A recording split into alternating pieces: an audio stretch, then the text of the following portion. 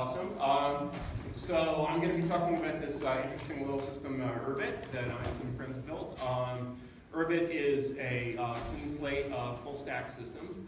Uh, so uh, let me explain sort of briefly the problem that we're solving here first, because um, this is a little different from the problem that a usual language is solving. Um, so we have basically a coupling of kind of two interesting problems here. We have a, a very different kind of technical problem that we're solving, and we also have a, a different human market need that we're solving. Uh, so let me go through both of those uh, super quickly. So um, the technical problem I'm trying to solve here is something I'll call a high-level deterministic computer. So that would be basically a computer whose entire life cycle is defined by a single frozen function. So it's really very functional. Um, of course, a, um, a, hardware VM, uh, a CPU, is defined by a single frozen function, which is the CPU function, which is very frozen because it's on the chip.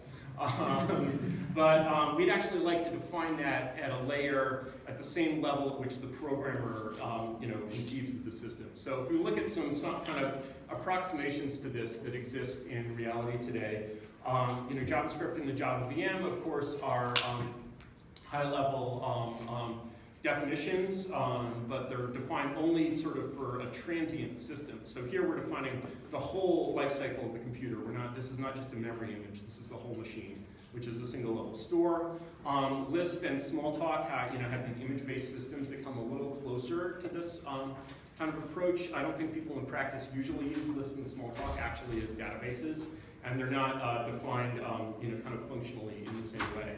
Um, but it's definitely in the sort of in the image-based, uh, you know, tradition.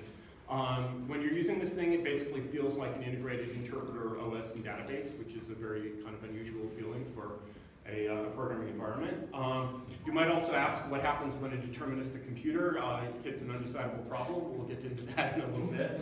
Um, one way of, of sort of um, defining this problem that I like to use is an unusual versioning system that uh, we use, which I call Kelvin versioning. So Kelvin versioning, you count down to absolute zero and you count by integers. So if you run out of numbers, you've, you've made a mistake, basically. So absolute zero is absolutely frozen.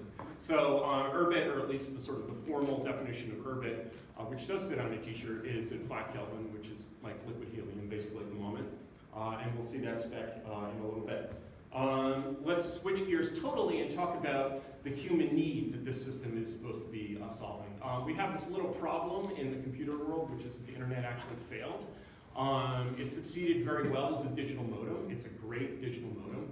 Um, it's entirely a client-server environment. It is not a peer-to-peer -peer network. Uh, it's never going to be a peer-to-peer -peer network. Um, and if you look at sort of the dream of the internet from the you know 80s and 90s, it was a dream in which everyone on this network would have their own server, and things like what we do on Facebook today would be done by protocols like SMTP. Well, you can't introduce a new wide area protocol on the internet today. You can barely keep SMTP alive. Um, you know, these systems were designed in the 70s. Uh, the same thing for basically Linux, which is, in a sense, I would say, uh, layer 7 of the internet. It's the application layer. Like, if you're on the internet, you're either a Unix box or you're pretending to be a Unix box. Uh, you can't really say, uh, you know, I can't really say to my mother, hey, you should go out and get an AWS box and put all your data on that and apt-get install, you know, uh, something. um, that's just never basically going to fly. And so we've kind of, um, you know, reconciled ourselves to the sort of loss of this dream where people actually control their own individual computing. And instead, we've basically gone, gone back and we've um, you know, recreated uh, the Hayes modem protocol with HTTP, and we've recreated AOL with Facebook. Um, and we're kind of stuck in this uh, space. So we have a big problem here, um, and these systems are basically not fixable. Uh, well, there's a way to get out of a problem that isn't fixable, which is to layer over it. So uh, the browser already did this on the client side. Basically, you had these OS APIs, and they're like, okay, we're going to build a new application layer. I, I guess browser people didn't really realize that this is what they were doing, but it's certainly what they were doing. We're going to build a new programming layer that is isolated from the substrate under it, that cannot call out in any way, shape, or form, and we're just going to program to that layer and not care about the, OS, the underlying OS. Uh, and that actually kind of worked great. Um, so on the server side, basically, this hasn't been done yet. Um, and I would say basically we don't know that people don't, don't want personal servers. People, you ask them, like you tell them what a personal server is, and they say, yes, I want that. We do know that they don't want Linux and the internet personal servers. We do know that my mother is never going to run an open you know, Linux server on the internet. So there's basically a real case to be made for saying, okay, we need a new layer here. Um, if we sort of drill down a little bit and define the need, the need is basically caused by the, um, essentially the obstacle to the universal personal server is just administrative cost. My mother is not a Linux sysadmin. So um, when you're looking at a problem and your problem is administrative cost, uh, it makes sense that a solution to this problem is going to be technical simplicity because basically the, the difficulty of administering the system tends to be roughly proportional to the number of lines of code in it. And if you haven't noticed, there's a lot of lines of code in Ubuntu. Um, and um, so basically, you know, the idea of building the browser for the server side is sort of a problem that kind of makes sense next to this problem of let's build a high-level deterministic computer. Um, so okay, let's, um, let's build it. Uh, how do you define a one-function computer? Um, well, you need, remember, we're defining both the network and the OS here. We're really, you know, defining a computing environment as if we just stumbled on a planet that had chips and wires and no software whatsoever, which is kind of fun. Um, and if you're going to define the way this works, you're defining networking from scratch. Um, I find the simplest way to think about networking is to imagine just basically a global party line. So a packet is just a big integer blob that people put out, everybody hears everyone else's packets, and if you have the keys to decrypt those packets and make them make sense, then you use them. Then you can basically say to this global party line, hey, um, we would like uh, to actually optimize this, and you, you, you know, get back to routing. But routing is basically an optimization in, uh, you know, Van Jacobson has this great term of content, content-centric network, um, where you're basically ignoring who sent you the, the packet doesn't matter. What matters is what's in the packet. So that's sort of the, you know, the network pers uh, perspective on, on this. Um, from the, um, um, the sort of functional perspective, there's basically two ways to define a one-function computer. You can define it as a lifecycle function, which is a, where the state is a pure function of input history. And remember, this is a frozen function. This never changes. You cannot upgrade this function. Uh, or you can define it as a transition function, where basically you have an input event in an old state, outcomes, you know, a bunch of output actions in a new state. Uh, these are really, you know, in practice basically turn into the same thing. In practice, essentially any um, life cycle function is going to wind up spending most of its time as a transition function because you're certainly not um, going to recompute the whole log every time you get a, a packet. Um, and one of the advantages of doing it the life cycle function way is when you're basically building this system where you have one frozen function which defines the semantics of every computer in the world, um, you need to basically break symmetry, and you need to basically, when you're starting that up, you need some startup packets, you need some startup, you know, you need to load an operating system into your function, essentially. Um, and so a lifecycle function makes slightly more sense as a way to define this.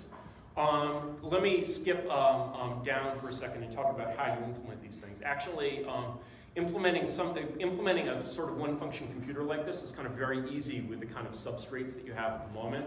Um, event sourcing is basically this pattern. Um, it's usually not used for a general purpose computer, but it's the same pattern.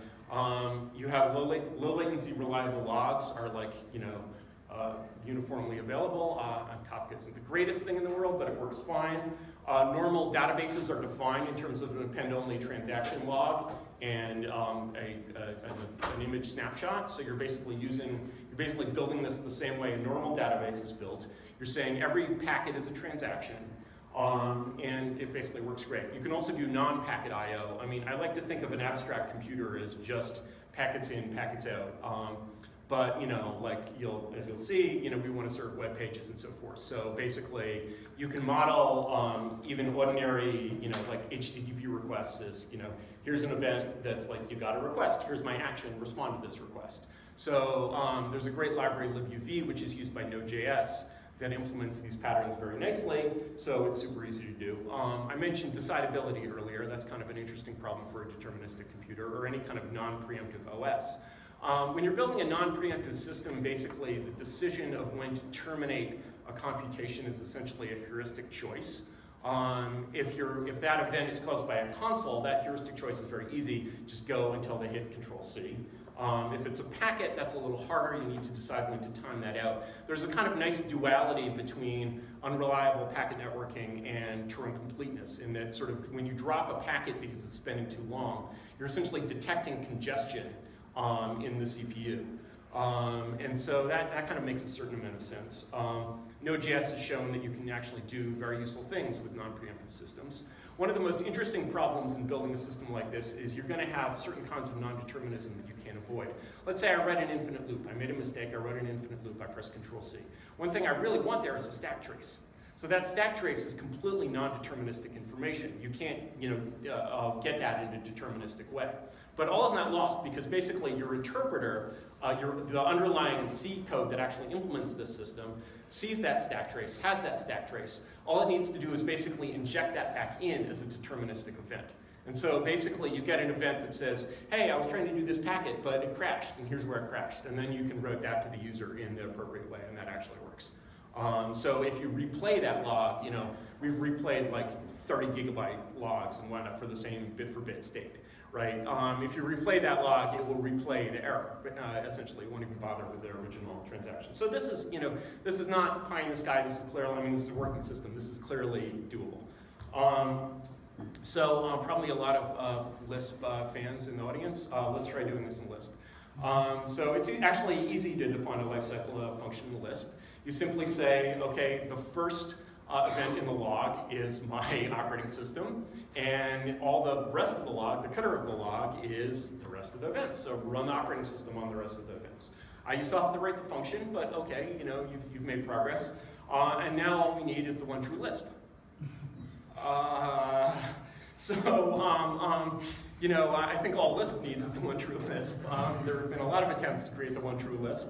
Uh, they haven't really worked out. Um, in my view, that's basically a problem that goes back to really the root of how we came up with this idea of computing. Because, um, you know, lambda calculus is, you know, it's, it's okay, we're a LambdaConf. I can't say bad things about lambda calculus, but um, it was originally designed not as a means of programming. It was originally designed as basically a metamathematical tool. And people picked this up and they found, hey, wow, this thing the Church came up with actually works like really well for programming. So you take that in one direction and it becomes Lisp. You take that in another direction, much more mathematical, and it becomes Haskell. Um, and uh, it's not like Lisp and Haskell are like compatible in any ways. You're always basically taking Lambda and you're growing hair on it to make it a practical system. Um, and I, I, would say that that comes from basically a sort of very deep kind of conflict in the, the, you know, the heart of Lambda, which is that it has these features that are like symbols and variables and scope that are features of a higher level language. But if you want to use that as an axiomatic system, and we just saw a talk on Shen, which compiles to Lisp, if you want to use that as an axiomatic system, basically, and put the higher level language as something that is actually loaded onto that axiomatic interpreter, then those things are in the wrong place. They're in the wrong layer. And if you're going to build an axiomatic system like this, you have just the demands on the precision of your interpreter are just extremely high. You want that to be just tiny and diamond perfect. And you can't grow hair on it. So in, in a way, basically, you sort of have no choice but to invent a kind of different computational model at the bottom um, end. So um, this, uh, you know, gives me a motivation to uh, actually, uh, you know, invent all this crap. Um, you know, we know that you should never invent anything, but uh, sometimes you have no choice. So um, the bottom of the stack is this thing called Nock. It's a uh, typeless Rosen combinator interpreter, non-lambda. It's defined in 200 words. It fits on a t-shirt. Um, I'm not wearing the t-shirt today, but I'll, I'll, wear it tomorrow. Uh, um, and um, the, I know, I know, it's a bad choice. Um, on top of that is Hoon, which is a pure strict type functional language. Um, it compiles itself to Nock. Um, this is type functional programming without category theory. Um, we've heard from some people that they hate category theory. Uh, I've heard that somewhere, not sure, probably not in this room. Uh, but uh, um, so, you know, you can see how if you have a compiler that compiles itself to Nock, then, you know, you can kind of bootstrap off of this basic, you know, essentially bootloader. On top of that, we have Arvo, which is a non-preemptive uh, OS. Uh, and uh, yeah, we'll see. So basically what I'm going to do here is just a really lightning tour through these three systems. Um, don't worry if there's there might be a little bit of stuff you don't understand, but like, you know, just, kind of sit back and get an impression of the system. All right, let's go into Nock um, for a second. So I sometimes call Nock a functional assembly language. You can program in Nock, but there are no symbols or anything, so you're typing numbers and doing tree geometry by hand. Uh, very much like writing assembly language. You could, but you wouldn't want to. Um, it's basically, it is a Lisp in a sense. It's a Lisp without any of these high-level tools. How do you get symbols out of a Lisp? Well, maybe it's not a Lisp. Um, and um, key point, uh, no cyclic data structures, no laziness, so no infinite data structures. You cannot, Nock is an interpreter which cannot create cycles. Um, I think that is basically very much the right choice in the modern world. Um, no tracing garbage collectors, uh, kind of nice. Um, if you also remember this is a persistent system, and if you look at persistent systems, any kind of database, you know, whether it's NoSQL or SQL, basically you'll see acyclic data structures everywhere there. You will not see very, very, very many successful data, uh, databases that use cyclic data structures.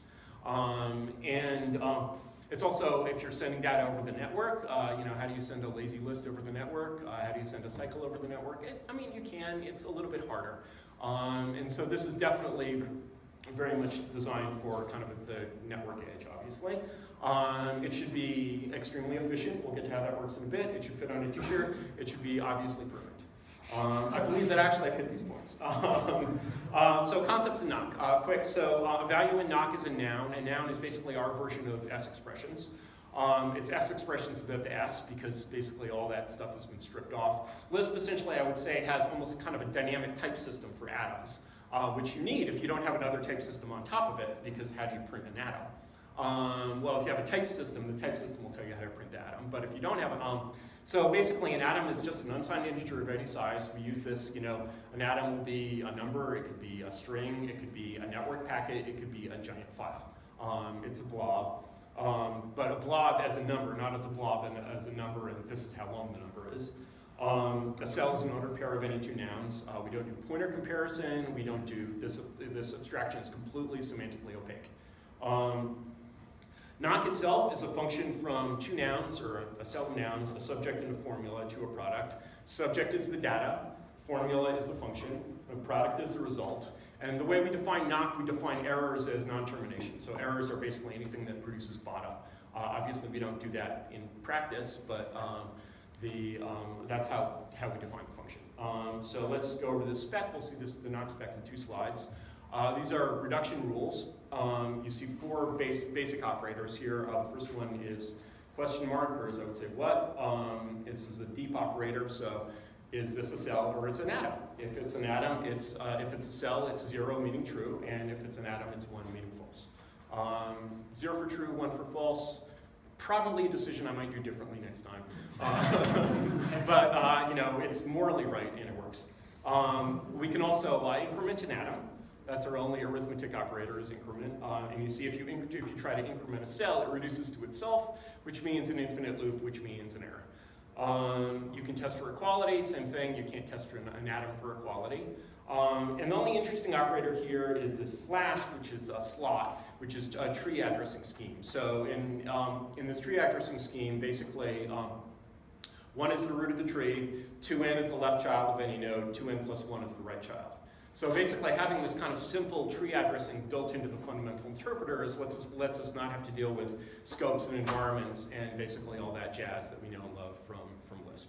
Um, so that's all higher level stuff. All right, so this is the rest of the Nock spec.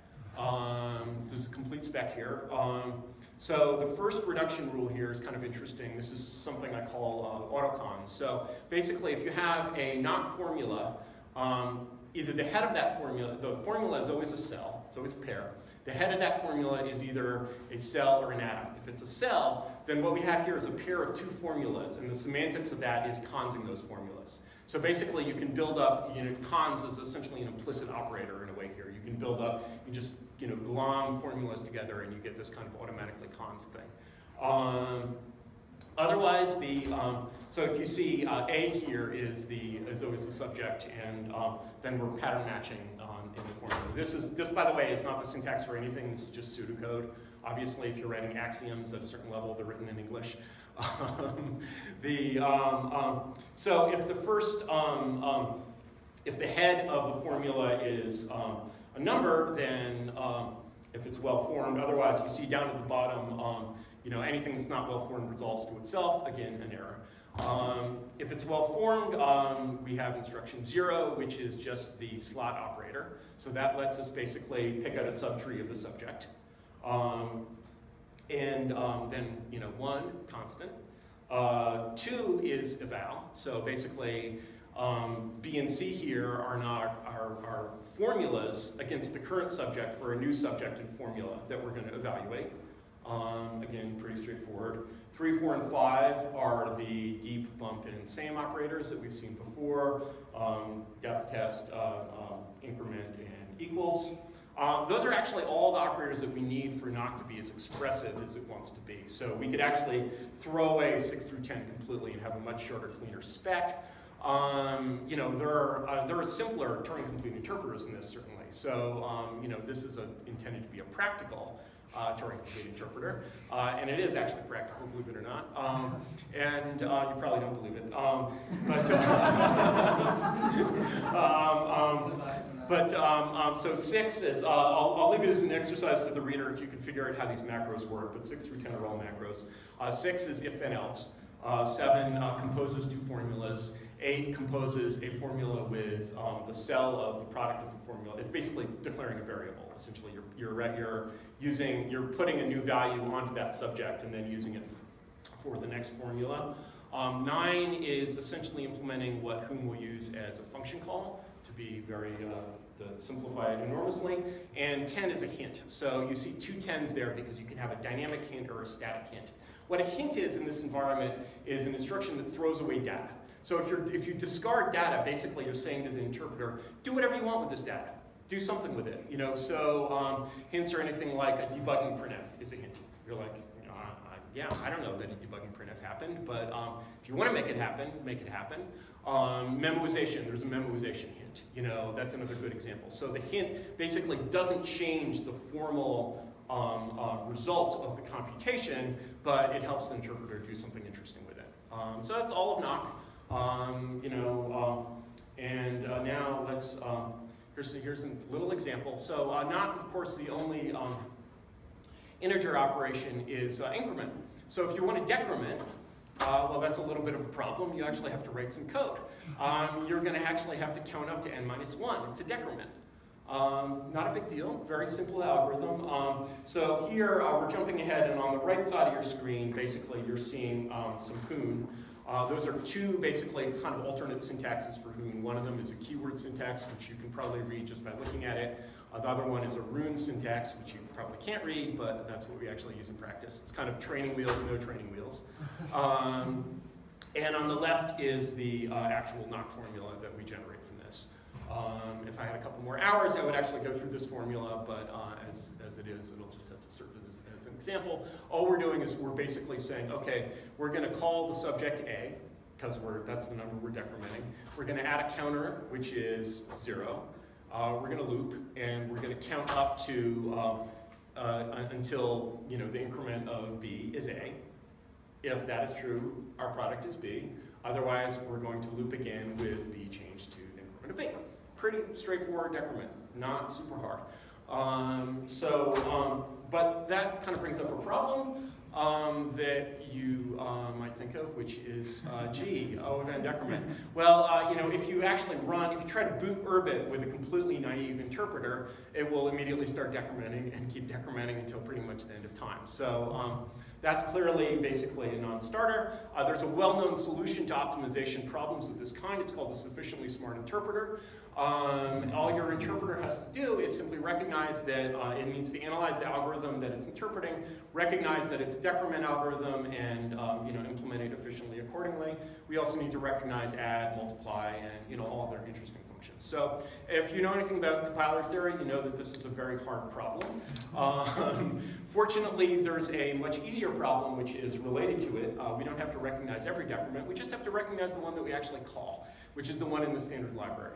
Um, and so um, basically the way we optimize in the system, and this you sort of compare to, let's say you're building, you know, you're using Java or using Python. What you do, um, you know, is you say, okay, I wrote some pure code. It's beautiful. It's fast. And uh, oh, it's not fast enough. Um, and I guess I need a, a native method. So uh, then you call it to C, you rewrite your uh, inner loop or whatever in C, you throw away the original pure code. Uh, there's another great advantage, which is that your inner loop in C can make system calls, so it can modify the file system or something. Um, and um, you know that is um, uh, not necessarily a very functional way of um, proceeding.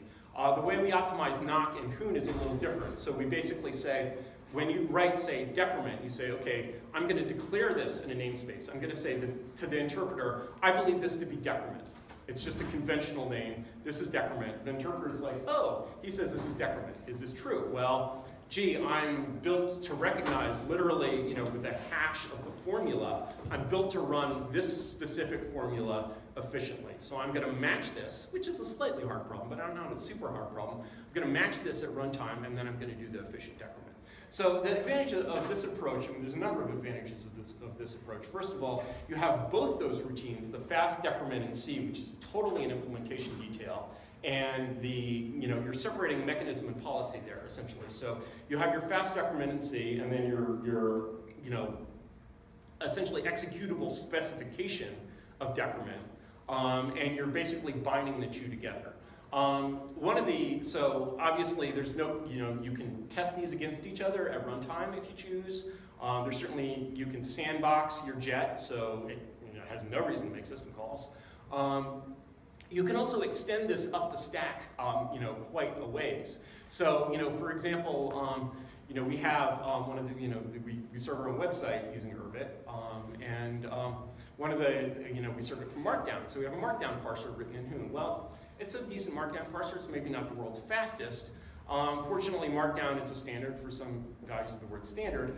Um, and um, we basically jet that Markdown parser with an efficient CommonMark implementation in C. Or, you know, for another, you know, example is uh, Google has this lovely library called TensorFlow. Uh, they recently announced that basically they built an ASIC for TensorFlow. Uh, I don't know how exactly the pro programmer talks to that ASIC, but I'm sure it's a mess. Um, what you actually want to do is basically say, okay, I as a programmer, I'm using TensorFlow of this version. I run Tensor, I, I declare that this is TensorFlow of a certain version. And then my interpreter is like, aha, I have a chip that can speed up TensorFlow of this version. I'll just use that. Um, and so that scales kind of to more, in more interesting ways than the, let's call it to see, uh, you know, um, model scale. So we also use it, by the way, to virtualize Nock. So there's actually a virtual Nock written in Nock if you thought Nock was slow. Um, but basically, you can get un unlimited levels of virtualization pyramid by basically just recognizing that you're running your own virtualizer and just saying, hey, we're at six levels deep. Um, so that's an improvement as well. All right, uh, we're done with Nock. That's Nock. Uh, pretty cool. Let's build uh, Hoon. Um, Hoon obviously needs to compile itself to uh, Nock. Uh, it needs to be a pure strict higher order type functional language because that's the hotness. Um, it needs to have a, certain, I believe it needs to have a simple transformation to Nock. So I'm a really a Unix and C guy. I'm not a functional programming guy at all, um, and actually don't know any other functional languages. Um, and um, so that sort of simplicity, that feeling that basically the compiler is doing something very simple for you, is really like a wonderful feeling when you're working inside C. Like you need, you're seeing the system basically at two levels. Uh, we definitely want a system that um, doesn't require people to have a math degree. Um, and um, that's a you know, subject of complaint. I think more generally, one of the things that languages like Haskell do is they encourage, they're functional programming languages, and they encourage you to use these powerful tools as kind of much as possible. Um, Hoon is kind of the opposite. It encourages you to not use these tools. Um, it's basically like, okay, the power is there if you need it, but bear in mind, when you're using this kind of functional power, you're imposing cognitive overhead on the ordinary programmer, because we really want, you know, this to be something that a Python programmer can pick up and program in. Um, and, you know, I think the ability to basically teach people these, you know, higher order constructs is, you know, really debatable. I don't think it's proven at all. Um, there's another thing that often happens both with macros and with kind of advanced functional languages where you get into this kind of DSL pattern where basically you're, you're so higher order, you're so meta that you know, every file is written in its own language, uh, which basically gets you to write only code. And that's like a kind of serious downside of functional programming. Um, and you know, the thing is, Hoon is still basically almost as expressive as Haskell. Uh, it has, you know, the equivalent of type classes. It has genericity. It's like, you know, it's not Haskell. Uh, you know, Haskell people will be a little disappointed in it, but it's it's definitely not Lisp. Um, okay, so uh, let's go a little more into detail on Hoon. Um, so basically, the back end of Hoon is extremely simple. So type inference and code generation together, 1,500 lines of code. Um, shouldn't be super hard to learn. Uh, so where basically Nock is doing subject and formula to product, of course in Hoon we have an actual expression that is written in for some values of the word uh, user level code, user level code. Um, the experience of programming without an environment or without a scope or without a heap or without, you know, this sort of extra piece of state where you just have the subject is just one noun and everything that you need is in the subject is sort of somewhat unique and different. Uh, you keep sort of reaching for that, you know, oh, there must be something that has my variables, but no, there's really just one noun that you're, that you're defining a function against. Um, so um, when we basically take uh, you know, a type system and layer it on, on top of Nock, uh, we're basically computing a mapping from a type and an expression to a type and a formula. So we have input type, or subject type, and expression turns into um, product type and the Nock formula that computes that expression. So again, a very, very simple, straightforward kind of relationship to, uh, to Nock here. Um, the inference algorithm is extremely stupid. It infers only forward. It does not use uh, unification at all. Um, it can infer uh, head recursion, uh, tail recursion, but not head recursion. Um, you know, so a general pattern is you need a few more sort of casts to help the type system out. It's still a strict type system, um, but um, you you know you need to you need to help it a little bit. Uh, my view is that basically having a stupider inference algorithm is again a UI win for a language. Um, because basically when you program in a language, you kind of need to follow what the compiler is doing. Um, the more powerful the algorithm you're following, basically the harder it's going to be for people to follow. And so, you know, when I look at Haskell, I see basically kind of two kinds of Haskell users in a way. I see people who treat Haskell is a black box and are like, it's sort of the learn you a Haskell kind of way, and they're like, oh, I made it work, cool. Um, and then there are the people that actually understand the math. And kind of both of those, you know, kind of situations don't scale in a way. Um, and so having a simpler system is definitely, um, I think, a win. Um, so a um, little more about Hoon. Um, so uh, this is uh, brought us in for some criticism, but Hoon uh, basically, since it sort of has its own way of doing things, we invent a lot of terms because basically the ordinary terms tend to be confusing. So, uh, and we also have a four-letter uh, name kind of convention going on. So an expression or an AST is a twig. Um, a type is, well, there's actually three things that are basically correspond to a type. So a type is in sort of a set of nouns and a semantics ascribed to them is called a span. A type in terms of a constructor is called a mold. And then we also have basically at the kind of OS level, I don't think I'll get into that today, uh, basically the equivalent of MIME types, which is something else also entirely. Um, looking at molds, basically, Hoon is a pure prototype language. There's no syntax for defining a span. The only thing you can define is uh, are twigs. So when you want to define basically a span, a range, a type in the usual sense, a set of nouns that you're interested in, what you define is actually a normalizing function that takes an arbitrary noun and produces a noun of that type that you're interested in. Um, what's kind of nice about that is that basically, if this is the way you define types, anytime you define a type, you've defined a validator for untrusted network data. So we do a fair bit of uh, validating untrusted network data in today's you know, environment, so that's kind of a win. Um, basic uh, concepts of the type system. This is almost a complete definition of the Hoon type system. It's missing a little bit of stuff. Um, I'll see if I can fill that in, but we're, uh, we got to move pretty fast here. Um, so, and I'm not going to talk about twigs at all because once you understand basically a data representation, it's pretty straightforward. So a span defines a set of nouns. What can this set be? Um, it can be noun, which means it could be any noun, any remembered S expression basically. Uh, it could be void, which is an empty set. Um, I'm going to skip over atom and core because I have separate slides for those. A cell, obviously a cell. Here's the span of the head, span of the tail. Um, a face, basically, we're going to label this span. And so remember that there's no symbol table, there's no anything in here. So the labels actually live inside the type. So when you're searching for a label, you're actually doing a depth-first search of basically the type of the subject.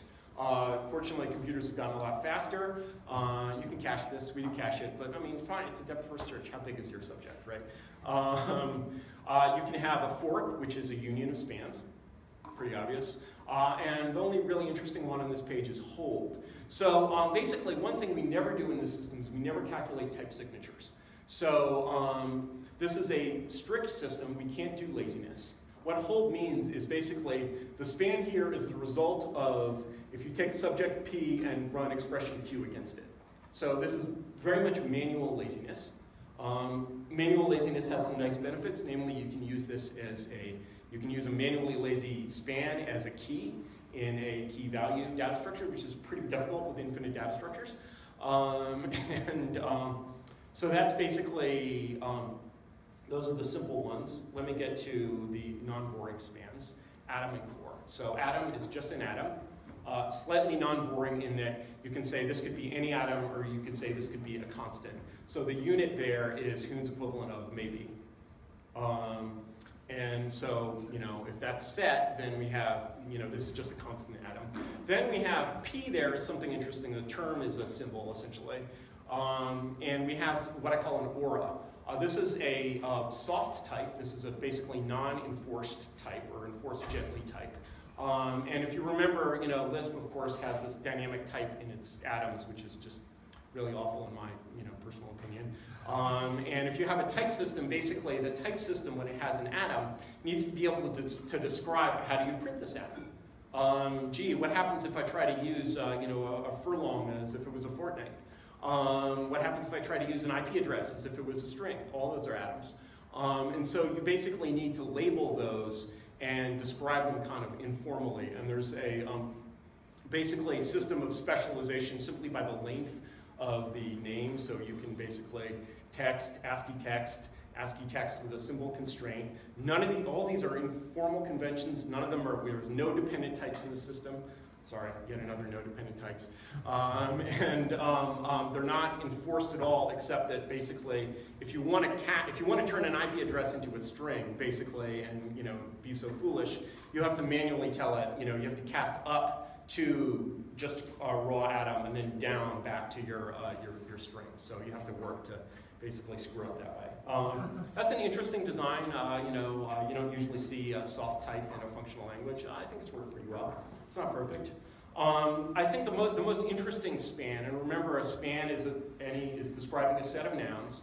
Um, the most interesting one is core, which is um, essentially an object, or it's an object sort of in a, in a, very broad and general sense. It's actually the general case of objects and functions and a lot of other things which you don't really have a name for. Um, a core is a cell. The head of the cell is a battery, which is either one formula or a tree of formulas uh, remembering a formula is just a Nock function. Um, the tail is a payload, which is basically any noun. Um, and um, when we run the arms, which are the, basically, they're not methods, they're computed attributes in the battery, we run that with the whole core as the subject. So we basically have this thing that has a bunch of code in it. It's like, you can think of, if you know uh, C++ implementation, you can think of it as like a vtable. Um, right, and so it's, here's a vtable with a bunch of formulas in it, and you say, I want to run, I want to get foo out of this core. It's like, oh, great, I have a foo. I'm going to basically calculate, you know, that, that's going to resolve to this calculation. Um, so there's no separate namespace for basically data and for code. So if you're looking for foo on a core, and the core doesn't have foo, there's no foo in the battery, um, then um, it goes in and says, oh, well, let's look at the payload. Let's, let's descend down the tree. Uh, notice also, again, that there is no attempt to create a type signature here.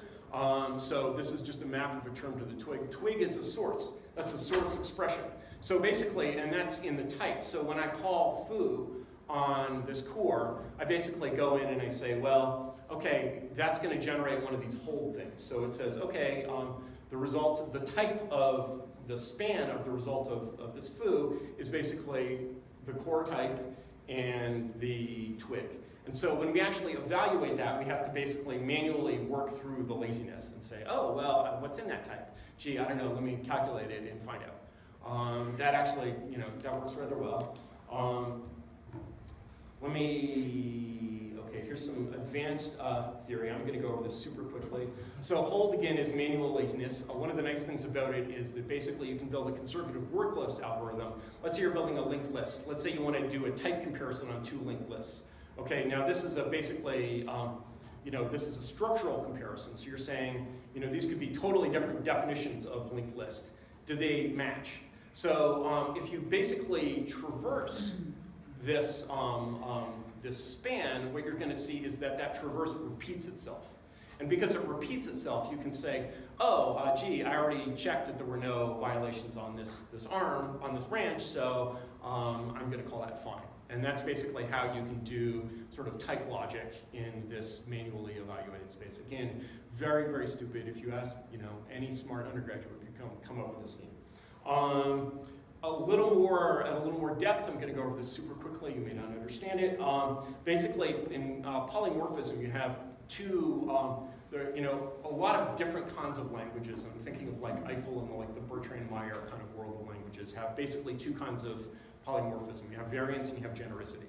So um, basically any polymorphism in any system like this is about basically if I change a core, let's say, okay, I built this core, I, I, stuck this battery on this payload, but now I changed the payload. Maybe I changed the payload to something of a different type. Can I run this core?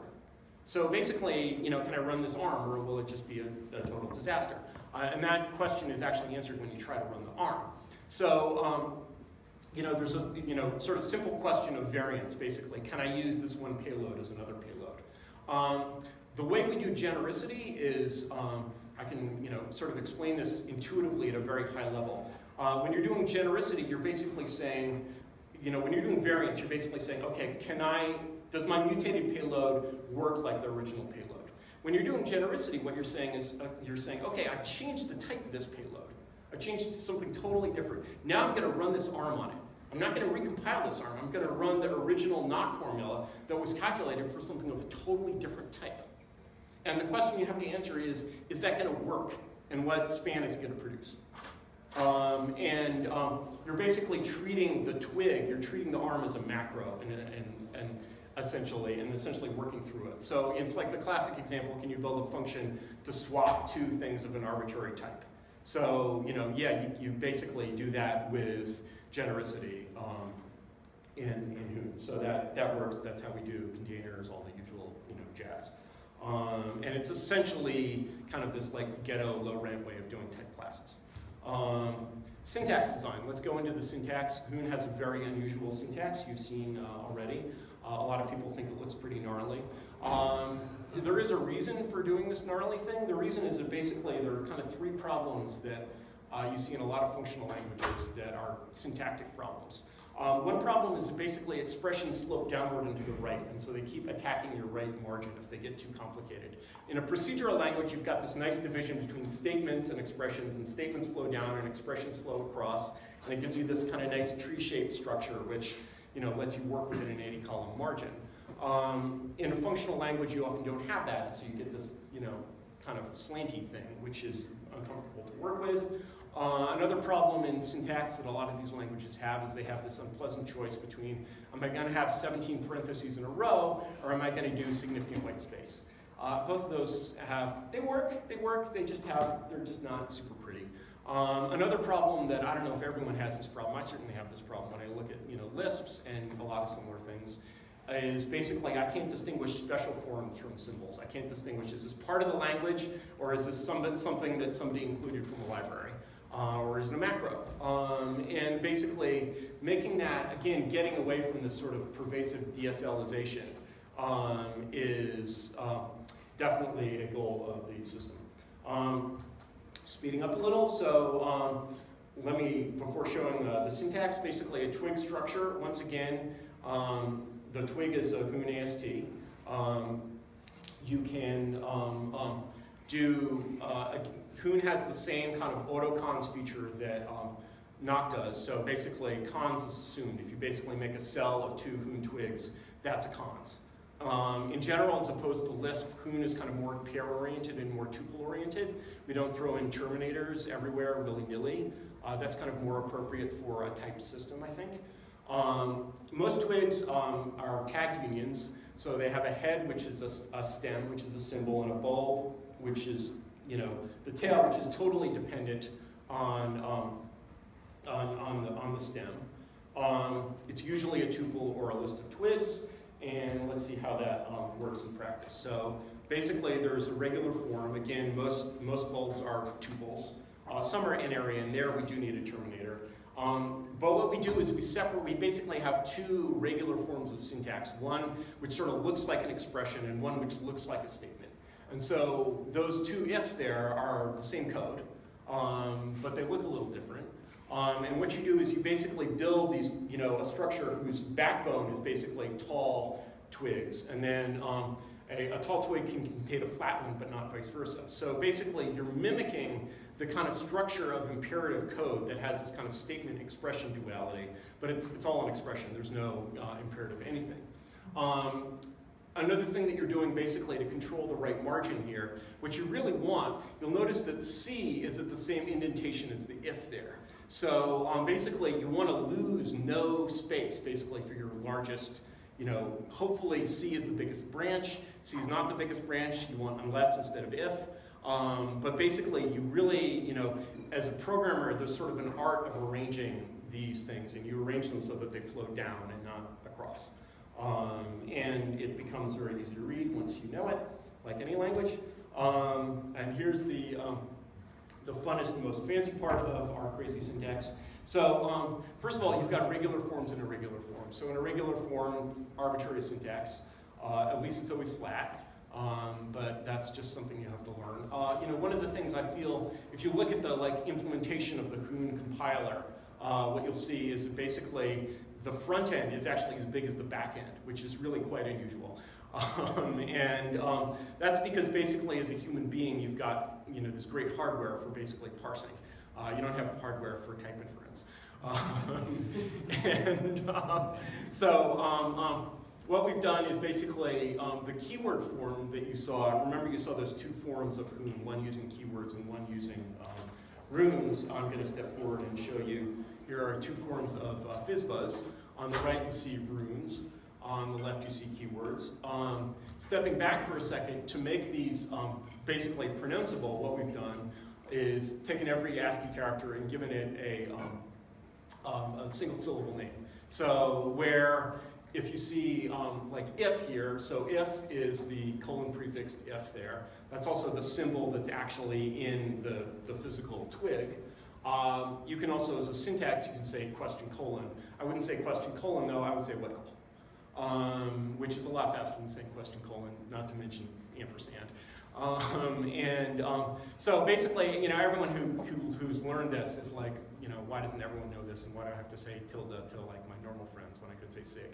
Um, so, uh, you know, hopefully it'll catch on. If, if it doesn't catch on, at least it's useful in Hoon. So if we, if, if we go back to this and we look at the right, um, you would say gate in fast atom, or you would say uh, bartis in fast atom for the start of that. Um, uh, let me give you, uh, you know, 20 seconds to just observe the, uh, the fizz buzzes here. I think the, the one on the left should be at least uh, pretty readable.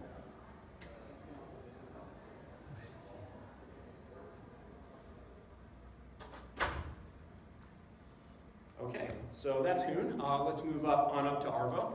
Um, now we're at the operating system level. Um, the, uh, the kernel of Arvo is a Hoon core.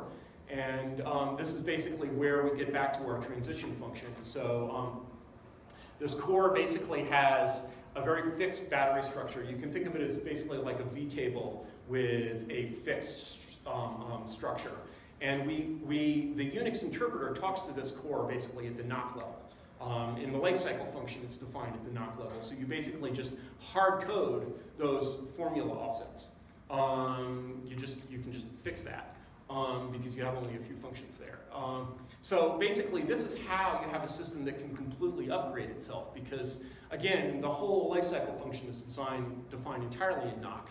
Um, and basically, you get an, let's say you get an event, and that event is actually a source code update uh, in the revision control system that gives you new source code for, you know, Hoon, the language itself.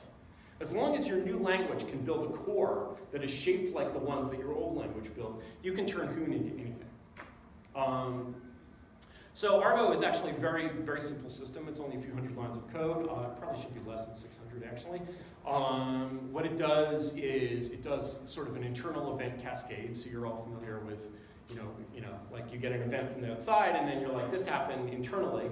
Um, events event systems uh, that are very complicated and deep like this one very quickly turn into spaghetti event logic. Um, there's a duality between events and procedure calls um, in which basically an event is, is, is a, a, transfer of control, essentially. And if you, you take that duality simply, the dual, the dual of a simple event system is go-to. Um, so basically, when you have, you know, you're like, oh, through these events, and then it's like the system will go here, and it will go there, and it's like, why, why, why, why are you doing this? So um, essentially, we have what you might call the um, equivalent of uh, GoSub for, anyone know BASIC in this room? Anyone? Wow, that's awesome. Um, I, I, don't feel so old now. Um, and um, so you, uh, you have essentially the equivalent of subroutines in an event kind of model. And you have basically this kind of causal model, which I don't want to get super into, but you know, definitely if you're building JavaScript event frameworks, I think you could use something like this. Uh, it also has a global type referentially transparent namespace. Um, so basically use any data in the world as if it was a type constant. Uh, that's kind of nice. Um, most of the work of, um, of Arvo is done by what are called vanes, which are essentially kernel modules, and they have essentially the same kind of core-like structure as the Arvo core itself. So, you know, these are loaded from source, obviously at runtime. Let me just run through, through a few of the things we do. Um, so, encrypted packet networking, we'll talk about that in a sec. Timers, obviously. Clay, which is like a typed Git. Um, console, obviously, Eyre, we'll see that hopefully driving a, a demo in a second. Uh, a function build system, I don't really know how to describe that. And an application engine. And the applications, again, are cores within Gall. So you have sort of these kind of multiple levels of virtualization. When you're running user level code, you're actually running it in a virtual Nock. And that virtual Nock has an extra instruction. It has an instruction 11 that dereferences the basically global namespace. So you're really like dereferencing the whole world as if it was a constant. Um, you know, again, that, that um, due to the way Nock works, you can basically virtualize at any depth of virtual interpreters without any real cost, because you're actually in the implementation just setting a flag. Um, all right, that's a very, very broad overview of Arvo. Let's go back to the top and basically look at what um, Urbit is uh, doing at the top level. So we're, we're sort of back to the user level here. Uh, there's fortunately nothing else in the stack besides Nock Hoon and Arvo. Um, and at the top level, what users really see the most in Urbit is the, the public key infrastructure, kind of the identity model. Um, basically, one Urbit is one event history, it's one state, it's one instance, and it has one identity. Uh, and you know, we basically establish that identity when we're booting the, um, the Urbit. Um, what exactly is this identity? What does it mean? Um, so basically, again, you know, the kind of the great thing about doing things from a clean slate is you really get to think from scratch, which is kind of neat. Um, and one thing about networking that is done kind of in a conventional, in the internet certainly, is you have these two levels of, um, uh, better audio. Um, you have these two levels of, um, uh, of addressing. So you have IP addresses and you have DNS. And the DNS is human meaningful and IP addresses are readable addresses. So in Urbit, this is compressed into one layer. So you actually have one layer which is both a human memorable layer and it's both a routing address and a name. Um, and it's actually your, your personal identity as well. Uh, it's also the base of, the, of a path in the global immutable namespace. Uh, so there's a problem called Zooko's triangle. Does anyone in the room know Zooko's triangle? Ooh, we're definitely not in here. Um, that's fine. Um, triangle basically says there are three things that you want out of an identity system. Um, you want um, the names to be human meaningful, you want them to be secure, and you want them to be decentralized. And you can get only two of those, of, of those three things. So Facebook, secure, I hope. Uh, human, meaning, human meaningful names, definitely. Decentralized, not at all. Um, you know, uh, BitTorrent, uh, you know, decentralized, yes. Human meaningful names, no. Um, and so there's basically a problem there that, um, you know, as, as an OS guy, you know, what they teach us to do is find the trade-off and almost solve the problem. So the trade-off that we make here is basically, um, you know, the trivial solution for an identity system of this scale is basically to say your identity is the hash of your initial public key. Very easy, IPFS uses this, very easy to do. Um, how do you remember a 128-bit hash? You don't. Um, and so what we're looking for is basically a way to make these um, names that are memorable but not meaningful. So um, first trick we do is we basically um, come up with a new way of representing numbers. Uh, many things like this have been done before, not super original, but we do a phonemic base 256. So if you look at my three numbers there, you know, there's a hexadecimal number in Urbit syntax, there's a uh, in syntax, there's an IP address. We also have a syntax for that. And then there's, you know, 128.42.19.109 versus Patnub Tarlud. Patnub Tarlud is a lot easier to remember. It's kind of like a human name in a foreign language. Um, people actually bond with these names very easily and very quickly. Uh, I'm Tasfine Pardive. I think of myself. People say Tasfine. I turn around. Um, and um, um so, um, of course, that's a 32-bit number, which is a lot shorter than a 128-bit number. So uh, how you get from 128 bits to uh, 32 is tricky. So you can actually do the 128-bit hashable public key thing. That's called a comet. Anyone can create their own Urbit identity. That is a completely non-scarce resource. Um, and um, so, and it's also, there's just no way of making a 128-bit number, uh, you know, memorable. So what you notice is that basically the most valuable real estate in this is down at the bottom of this whole 128-bit space. And in fact, you can overlay, a, you know, a 128-bit hash will never be a 64-bit number, so you can overlay a completely different 64-bit identity scheme on the bottom of this. So um, your 64-bit uh, scheme is distributed hierarchically. It's basically, it's cryptographic property a little bit like Bitcoin, but it doesn't use a blockchain. So the way it works is that um, a 64-bit ship is, the initial key is signed by its 32-bit parent, basically the half-width prefix. The 32-bit ship is signed by a, uh, its 16-bit parent. The 16-bit ship, uh, which is a star, is signed by its 8-bit parent. And the fingerprints of 8-bit um, um, galaxies are uh, hard-coded in the kernel source. Um, this is what we call uh, pre-mined in the, uh, the Bitcoin uh, world.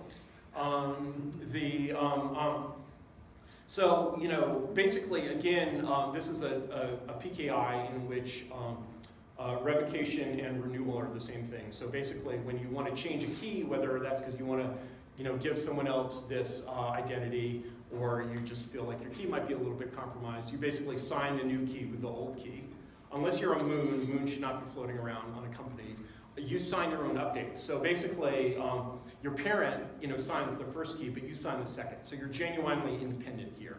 Um, the main sort of um, question in that is basically how these update, updates get distributed. Fortunately, there's a lot fewer of them than sort of the equivalent, which is like a Bitcoin spend. So it's, you know, there's a lot more room for basically just sort of handling it in a, in a kind of less aggressive way than, than Bitcoin does. Um, but it's the same basic principle. Your identity is definitely cryptographic property. You own it, you can sell it, um, et cetera. And there's, you know, the, the 32-bit um, point is clearly kind of the right point for human beings. One of the things about having these 32-bit names as your names is basically, like in any situation in which people are actually using this system, I mean, some people are using it, but hopefully everyone will be using it, um, you have a scarcity there. You only have 4 billion. And so the price of this scarce resource cannot fall to zero. So um, one of the things and, uh, about that situation is that the basic problem, one of the reasons why my mother can't run her own internet server is that the internet is basically, you know, a digital Mos Eisley. I mean, it's just all kinds of scum and villainy out there. And uh, when you get a packet from someone, you have no way of ascertaining the reputation of this IP address. Um, yes, there are IP address reputation systems. In practice, they basically turn off all residential things and don't let them send email. Um, but the ownership of an IP address is not clear. And so you can't really use, an IP address is not property, you can't really use it as a mechanism in this way. When you basically have an address that's a scarce resource, let's say you paid 10 bucks for your planet. Okay, I paid 10 bucks, I you know, want to be able to compute. Um, then you're going to send messages directly from that planet You're definitely not going to send them through like Google or some MTU, like, you know. Um, and if you spam, like someone's like, hey, I got a spam from Tasmanian Pardive, um, and you go on a blacklist like this, and basically your 10 bucks is now worthless um, because no one will accept anything from that planet anymore. So essentially, in order, like your spam better made you 10 bucks, or like, you know, and that's a pretty high bar for spam. And so basically, just by having this sort of limited um, supply of real estate that's treated as digital property, you basically have the basis for building a reputation system that works because the real killer of reputation systems is an infinite supply of identities. Because you have this problem where you, you're like, I've never seen this identity before. Maybe it's a new user. I really want to say hi. Maybe it's that spammer I just banned. I really don't want to say hi. That's kind of an unsolvable problem. Um, and so basically, I think this is one of the things like, you know, nobody, uh, a, a, tiny young network like Urbit, nobody abuses. Um, but, you know, in the future, um, as you grow, basically you become a target. And so having a system like this helps you not be a target. Um, let's fall back on the point of all this. Um, inventing new system software is always a bad idea. It's a terrible, terrible thing to do. Never, never, never do this. Um, so um, let's go back to basically the, the goal of this project, which is to build a personal server. So a personal server is going to be a social server. So if you have a real personal server that's a real social server, when I socialize with you, in the ordinary case, barring like weird identity games, I should be sending packets directly to you. I shouldn't be sending packets to some Facebook thing over there that then sends them to you. I should be able to basically actually socialize in a distributed way using distributed protocols. And one of the things about the way we, way we compute today, and the reason basically we don't um, do this, is that if you look at the difficulty of distributed programming, let's say you're building like a tic-tac-toe app, compare the difficulty of building distributed tic-tac-toe with the difficulty of building centralized tic-tac-toe. Centralized tic-tac-toe, you know, my score, your score, they're variables. They're in the same, you know, data structure. It's easy. Then suddenly you're building distributed tic-tac-toe and you're like have to apply to the IETF for an RFC for your TTTTP, right? And you know, it's just like six orders of magnitude different in difficulty. And like if you want to ask why we don't have a decentralized internet, basically the reason we don't have a decentralized internet is that decentralized programming is too damn hard. So basically, you need to solve this problem if you're going to build anything like a true personal server. Um, so let me talk a little bit about the kind of programming experience of you know, where we're aiming to get with this. This is actually my next last slide. Um, so let's see, first of all, you're programming the system, you can dereference a global immutable namespace. So basically use any data in the world as if it was a typed constant. That's kind of nice. Um, your application state is permanent. You don't need a database to basically flush stuff out to when, um, you know, for your data actually and so um, you're like, oh, I got a source code update for this thing I'm running. Then I'm like, oh, I need to change out the code. Oh, gee, my the type of my data. I have um, a type adapter in there to um, make that work. Uh, that all works great. Um, a very different experience from kind of up, updates or upgrades in, in a lot of systems. Um, when you get to messaging um, patterns, basically, you've got um, a poke, which is a forward, basically, essentially an RPC without a return, um, and you've got a subscription model. Uh, let's look at basically what we get with pokes for, for a moment. Uh, number one, you get exactly once delivery. Uh, you've probably heard that exactly once delivery is uh, impossible. There was a great uh, blog post about that a few months ago. Um, exactly once delivery in message semantics actually is possible if all of your entities are single level stores and if they can basically run permanent sessions. So you have a permanent session and you're like, oh, I, I expect, you know, um, message seven from you. Well, you're only gonna get message seven once. Um, where that breaks down in this kind of system where you have transient and permanent state is you reboot the computer and then you're like, uh, do I expect message seven or message six? Or, you know, you have these, um, you know, um, uh, idempotence problems. So every message is a transaction in this kind of distributed programming environment. Um, if the tra transaction succeeds, there's no return data, so it's a one-way transaction. Um, your messages are automatically type checked and validated on the receiving side. You can even do basically protocol type updates on a live network and not propagate errors to the user. Um, your, your, the data that you get over the wire is passed to you typed. You basically just get it as an argument and it's a typed value. Um, you, we do end-to-end -end acknowledgements, which basically means there's kind of a single error mode. So when you're doing acknowledgements, like think about you're, you're doing a normal uh, RPC or HTTP. Something goes wrong. Well, what could go wrong? Your socket could break. You could get an HTTP error. You could get an error at the RPC layer. Um, what do you even do with half of these things? Like there, there are different kinds of error. Um, and that basically is just very, very difficult to handle right. So if you're basically doing acknowledgements at an end-to-end -end level, that means the packet level ACK that you send back is actually the, um, the transaction acknowledgement that you succeeded or failed. Um, you know, messages are queued by the sender, obviously. Um, this is a P2P network. It uh, traverses uh, NAT, um, and of course it's authenticated and uh, encrypted. Your subscriptions are sending diffs. Um, those again are typed. Um, so this is this is a very different distributed programming experience than um, your sort of normal, uh, you know, I'm running this in Node uh, experience. And um, our experience is basically it's you just do things and they pretty much just work.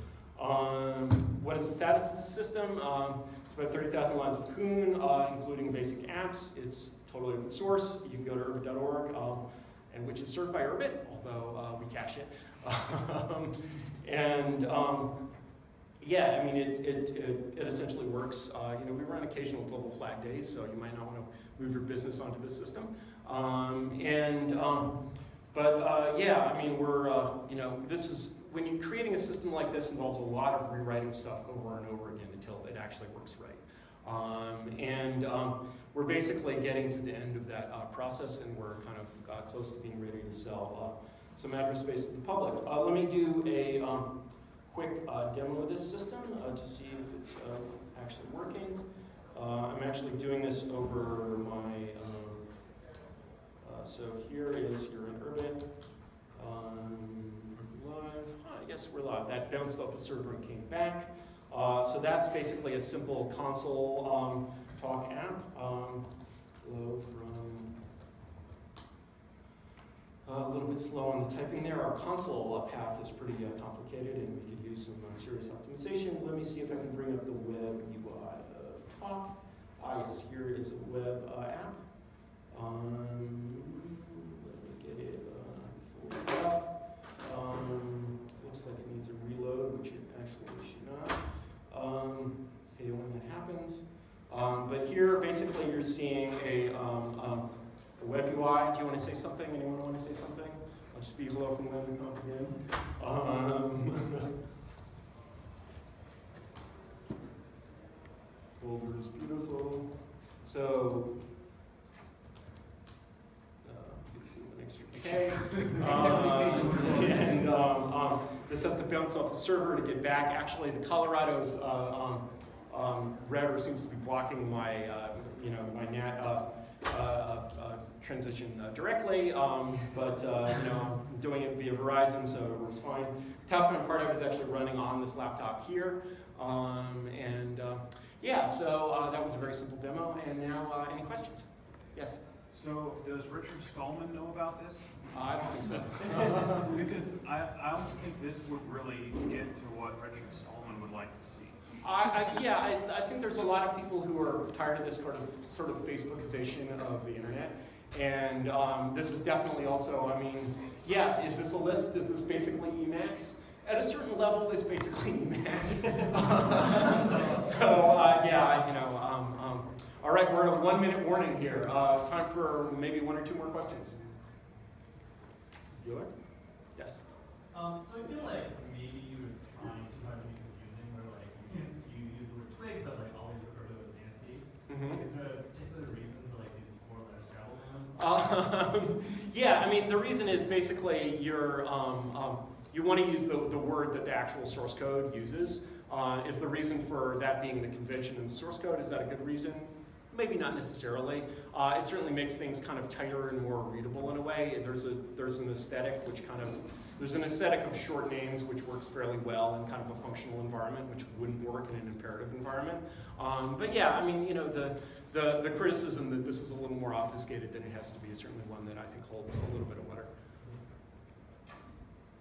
So when you, when you chat from the one message and it ends up in the browser, how do you go through the, the uh, centralized events? Uh, so that is basically, um, that, uh, if, you, if you saw, if, if I turned on debugging, here, I'll turn on debugging, and uh, you'll see uh, a lot of. Like where, where are those packets? Okay, so um, what's actually happening is that packet. So I'm logged into. I could log in via taskminepartarchive.urbit.org. Here, let me turn this off. This is horrible. Um, and um, um, I could log in via taskminepartarchive.urbit.org and be proxied by basically the star that is. Um, Taskmine Pardive is a um, planet of. Um, but basically, I'm in a channel. That channel is hosted on Doznec, which is the, um, the star that I'm, I'm responsible to. And so basically, that packet is going up to Doznec, coming back to me, and then it's going over localhost 8080 to the browser. Nice. All right, any more questions? I think we're, I think we're at time.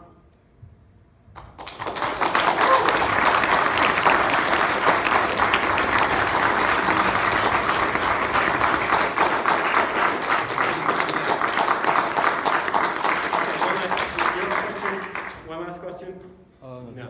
All right, we'll talk after. All right, thanks, thanks a lot for showing up, guys. Great to be here. All right, did that record? I have two questions actually. The one was at at some point what